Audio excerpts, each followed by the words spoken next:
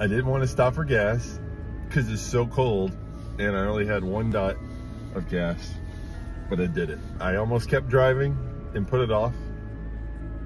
My whole body is cold. My clothing is cold. It is so cold outside. Um, I might die. Um, I'm gonna get home. I'm gonna pick up my stinky kids first. Get home, put on pajamas. I'll probably drink another cup of coffee. I'm on my third. Check out this cup I have. My girlfriend got me. And then I'm gonna. I might even get in, in and watch TV with my kids. I might not even be selfish and watch a Steve show.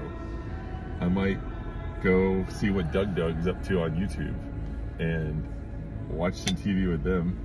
They like when I sit between them and then they can both hold my arm and then I watch DougDoug. It's a great time.